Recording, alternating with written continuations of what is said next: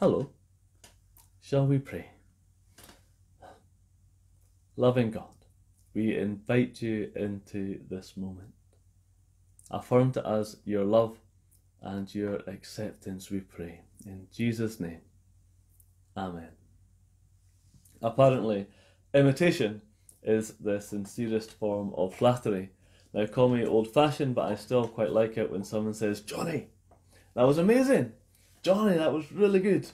Or Jonny, you're so handsome. All genuine quotes, by the way, that I say to myself.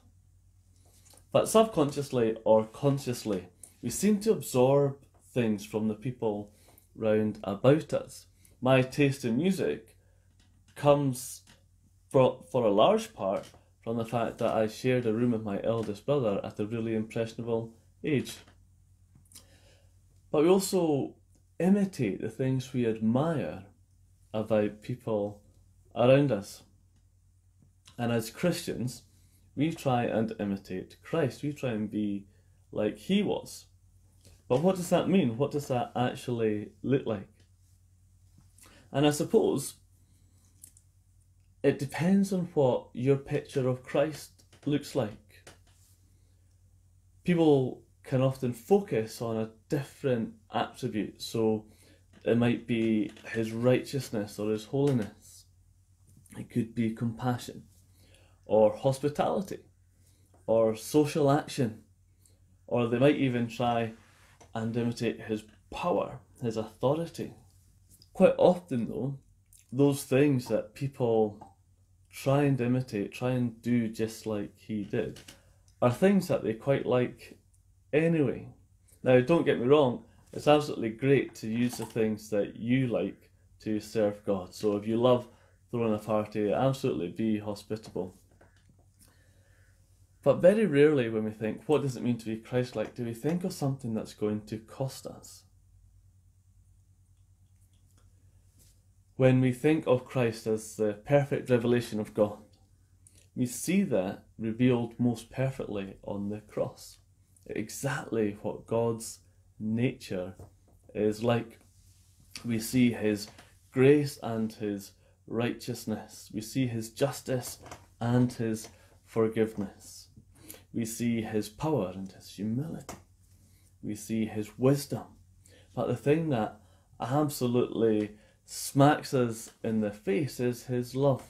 It's his self sacrificial love. It's something that cost him.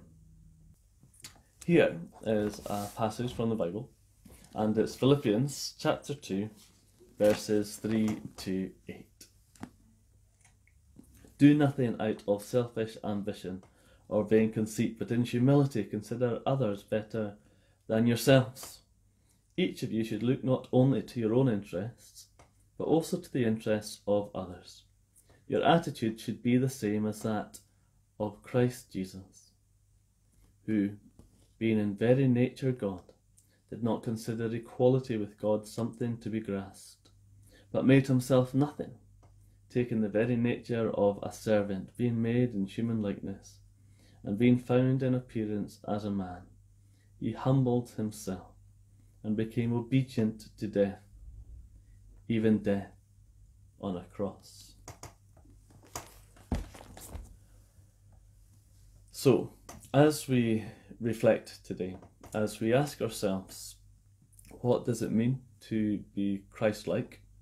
And if we're willing to be Christ like, that also involves asking the question are we willing for it to cost us? Are we willing to love even at the expense of ourselves? Shall we pray? Lord God Almighty, we do not have the capability to love like you loved us, but we do desire to become more and more like you and as we go along that journey, would you open up our hearts? Open up our compassion and hospitality and kindness and generousness, our heart for other people. Open up a righteousness within us.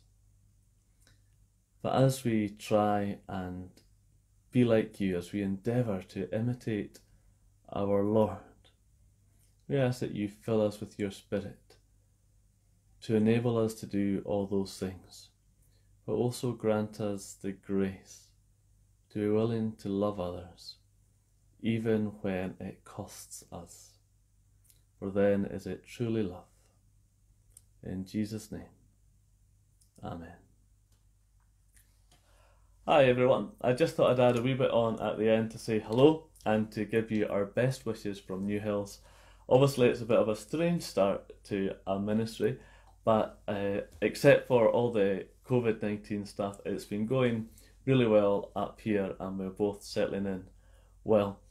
So, have a good day, uh, be safe, keep well, and our love from both myself and ML to you all. Bye.